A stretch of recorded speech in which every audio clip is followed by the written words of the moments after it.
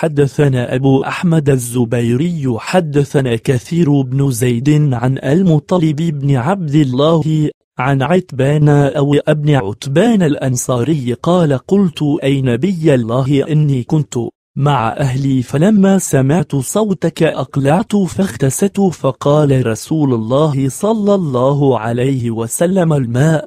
من الماء